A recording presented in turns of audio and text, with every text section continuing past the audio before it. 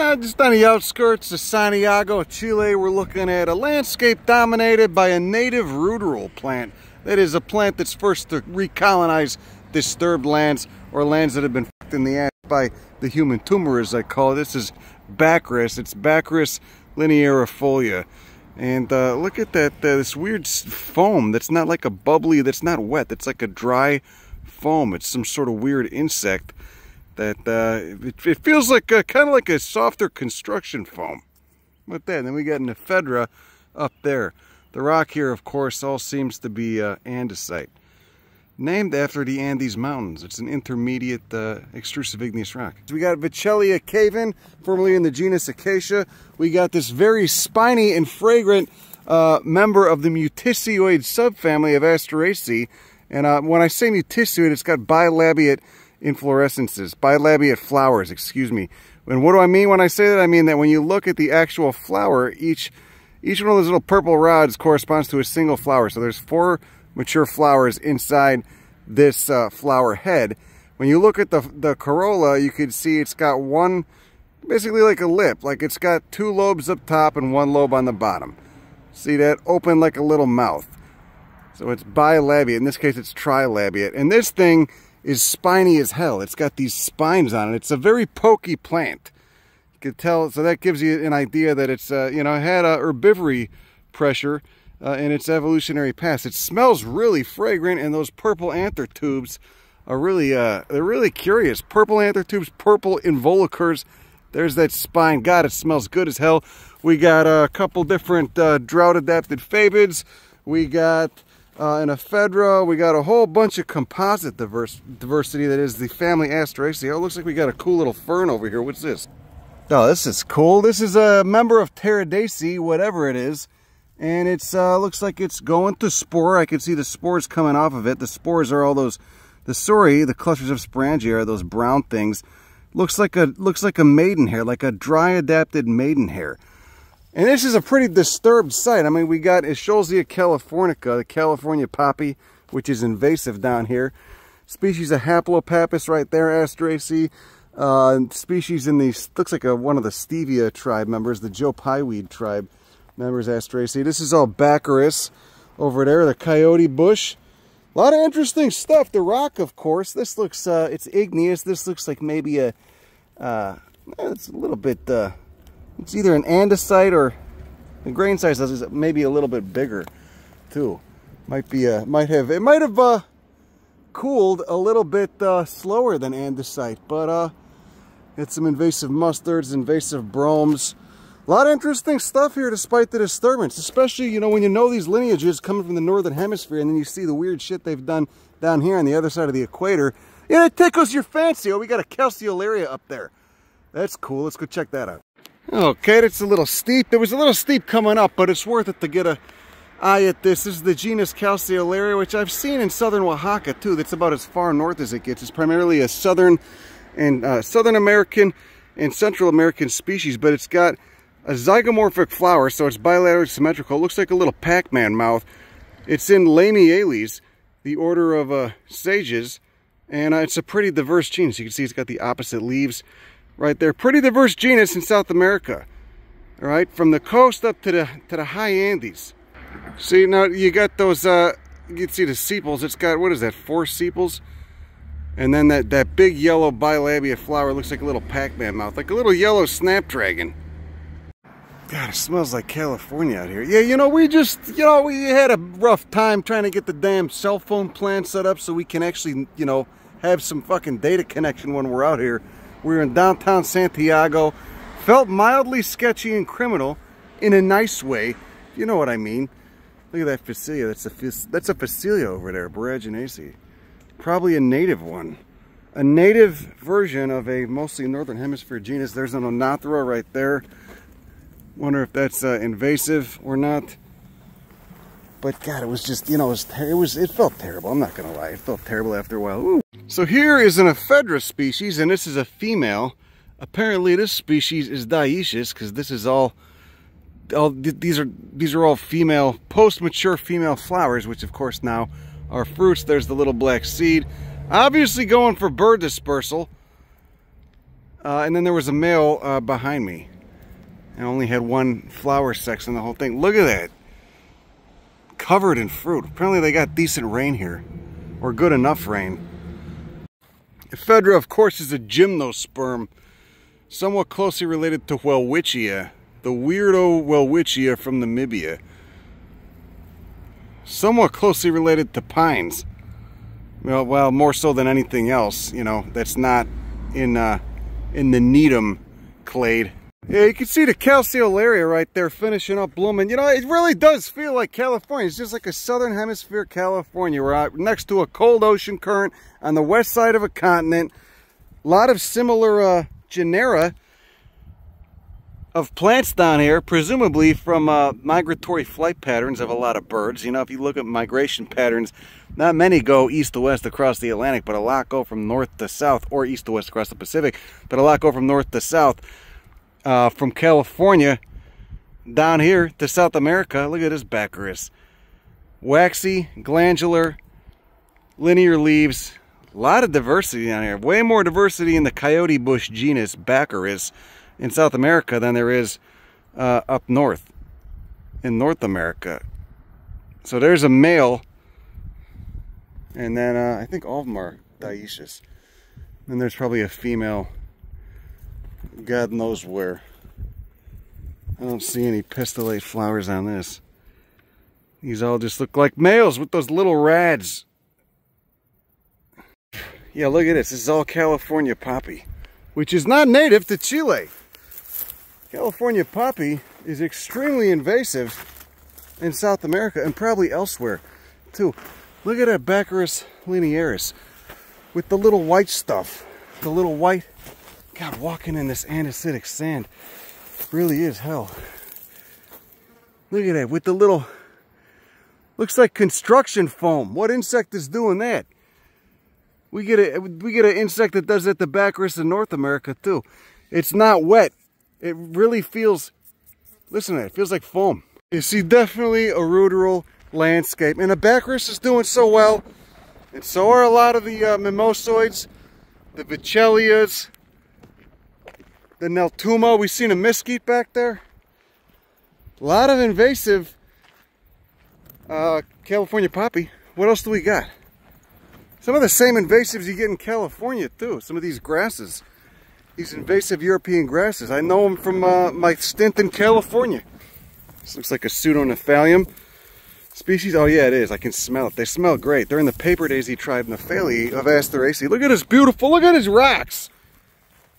Definitely a spot. If I lived there, this would be a spot I'd be backing my truck up to steal rocks. Yeah, you could be somewhere in Southern California, you know? it's amazing. Look at this. Here we've got an eight foot tall, multi-branched shrub lobelia, Lobelia excelsa. Those distinct lobeliaceous flowers. You ever look up close at a lobelia flower? We get Lobelia cardinalis in much of the United States, Midwest and East Coast, and the South. You got that fused anther tube, just like you do in the sunflower family, Asteraceae. Look how hairy that shit is too. Hairy, and then you got a pollen presenter, a bifid style pushing out of that thing. And uh, it looks like you got some nectar on there as well, which is not surprising because this is a hummingbird pollinated. Definitely hummingbird pollinated. And then so this style comes out, the anthers, instead of facing out like they do in a quote normal flower, in a lobelia flower, the anthers face in. The pollen side of the anther is facing inward. This style comes out, pushes pushes the pollen out the secondary pollen presentation, that's actually a term for that. A number of plants do that, though it is pretty rare. Uh, it's, you know, comparatively speaking, pushes the pollen out so it's male first and then later that style opens up and becomes receptive to pollen. It becomes bifid and then uh, and then it can receive, you can look at the texture of that thing and now it's, it's receptive to pollen and then pollen grain germinates and sends a pollen tube all the way down to pollinate the ovary that's in that lobeliaceous calyx and then the seeds are absolutely tiny. So there's a giant one, which is wild, and then there's a shit ton more way up there. Look at that. An eight to nine foot tall lobelia. And that's actually, that's kind of small. I've seen lobelias in Brazil. Can get really big too, like 20 feet tall. So despite the invasives and the proximity to a city and how disturbed the site is, you know, the hillside being blown apart for quarrying, a lot of cool shit here nonetheless. Okay, we're gonna play a little game. Let's look at this and let's try to guess what family it's in, okay? You can look at these stipules right there. Are they stipules? No, they're more just like branches that terminate, you know, lateral branches that begin to form and then terminate into spines. There's the leaves right there. Look at that, that, that tri-veined leaf. Three veins on that leaf. All right, we're starting to see clues to what family this might be already. There's the fruits. It's obviously done flowering. Okay, photosynthetic stems, branches that terminate in the spine, tiny fruits that uh, seem like they got a hard, is this a hard capsule or a dried berry? Ooh, it's fuzzy too. So the flowers were probably small as well. We got three veins in that leaf. What family do you think this might be? Just from the general gestalt. If you're thinking buckthorn family, that's right. This is Retanilla trinervia. The buckthorn family Rhamnaceae. photosynthetic stems, spiny branches, branches that just terminate into a spine. That's just a branch that terminates into a spine. It's not a prickle. It's not a, uh, a malformed axillary leaf bud or a leaf bud scale like you'd see in Cactaceae or a stipule like you'd see in Euphorbiaceae. It's a branch that just terminates into a spine. It's got that photosynthetic stem. Lots of buckthorn family diversity here in Chile that whole slope just comes down so easily. Here's a solanum, a nightshade. You can see there's a couple. Almost, it's got the habit of an elderberry. Multiple branches, and then it's got those red fruits. And the big giveaway, of course, is the purple flowers. Right there, which have poricidal anthers. You can see they're finishing up. We're kind of at the tail end of the phenology here. It's Chile's got a Mediterranean uh, climate, which means the summers are dry just like California and Western Australia and South, you know, West, uh, Western South Africa. And so the phenology here is kind of in the, in central Chile is finishing up. Look at, look at those, look at that calyx. Look at those sepals on top of those fruits. Bird dispersed, probably. Probably not edible. Maybe I'm wrong. I'll put in the captions if I am. A lot of solanums are, uh, some are edible, some are toxic because birds have different metabolisms than mammals. So a lot of things that don't affect them do affect us. But this thing is, it's just a, man, it's a living bird feeder. Definitely remember this one from the last time I was down here. Let's play the family game again. Look at those leaves. We don't have any fruits, but look at the leaves. The leaves should be a good, a good enough hint at what family this is in. You can see it's got uh, tiny hairs on the underside of the leaves. It's got a prominent red vein. The venation on these is really strong. Look at the top of that leaf is glabrous, kind of waxy. I'm not going to touch this. That's the big hint. That's the big hint. What family thing this is? Poison oak family, mango family, Anacardiaceae, cashew family. This is Lithraea caustica. Because it's caustic. That's where that species epithet. It has urushiol in it. And uh, sometimes you'll you'll see the leaves. They got a little bit of black in them. I did fondle this last time I was here.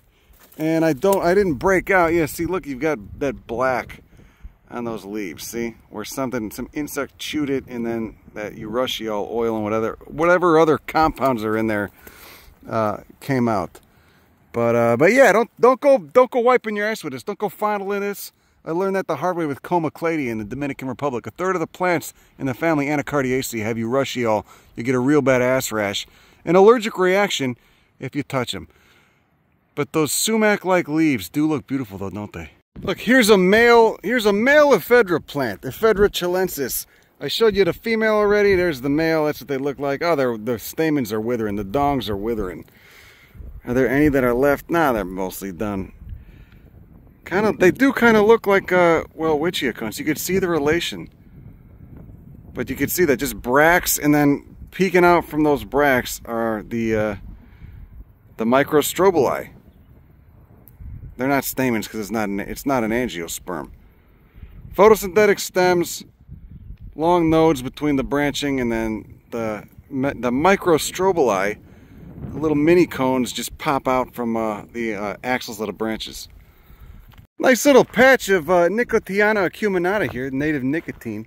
Native annual nicotine, which we get a few in North America as well. You can see these guys right here. Obviously going for moth pollination. And uh, obviously, very, very glandular. Ooh, I'm getting all the oils on my hands. And again, that's where the nicotine, which is one of uh, many alkaloids synthesized by this plant. Wow, look at those sepals. Holy shit. Lime green on the outside, dark green on the, uh, on the inside. Beautiful. But all those alkaloids, of course, are anti-herbivory compounds. And then those flowers, they're closed right now because they open at night for moths. Look at the leaves on this, too. This is nice. You know, I'm gonna I'm gonna take an herbarium voucher at this. This is a nice one. It's pretty, it's ruderal. It's probably a dime a dozen, but I like this. And the seeds will be in there, and there's they're often really tiny. And that's what makes this such a successful ruderal plant, such a successful native ruderal. First to colonize. I mean, this plant, it's, it's literally producing 10,000 seeds right here, probably. Because each one of these dry ovaries, these dry fruits, will have tons of tiny seeds in them. Now, there you go. See, that's all from one fruit. Look at that. You usually got, what, two or three hundred seeds there? It's like playing at the, you know, guesstimate uh, how many uh, how many gumballs are in a bubblegum jar. You know, we used to play, we used to, teacher used to make us do in uh, a grade school, kindergarten, grade school, whatever this shit. You know, I got in trouble a lot. I try not to think about those times. I got I got penalized. Look at there you go. Senna candoleana. Caesalpinioid P. Look how glaucous those leaves are too. And it looks like someone's been putting rocks around, you know, creating little barriers. That, you know, it shows care and respect. That's nice. I wonder if it's the kids who's doing it. Just here on this sketchy cliff. It's not that sketchy. I just, this shit comes apart so easily. Here's a cool Stachys that Woody just seen. Where the fuck, I just, I just lost a flower. See, there's the spent calyces, the sepals, conglomeration of sepals, and there's the flower. Ooh, it's got a big landing pad. Look at that. Well, speckled. Glandular as hell. Look at those hairs. Look at those glandular hairs. There's those leaves. Woolly as hell. Oh, look, you could see the four seeds maturing inside that calyx. Look, it really does feel like Southern California. Look at that big pile of shit, that big pile of garbage down there. Congratulations. Look at it. Look at the blue. That's a nice Phacelia. That's what you call a nice Phacelia. Huh?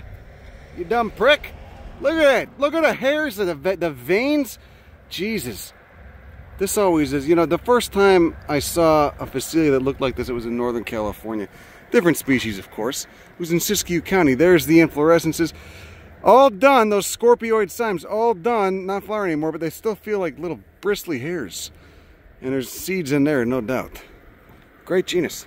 Oh, it's beautiful out. What a nice day in southern Chile. Anyway, that's all I got. Have a good rest of your day. Pay attention to the plants around you, even in disturbed sites. Pay attention to what's native, what's invasive. Those are the ruderal plants. That's what takes over areas that humans have uh, disturbed, bulldozed, done whatever to shit. That's all I got. Have a great day. Go fuck yourself. Bye.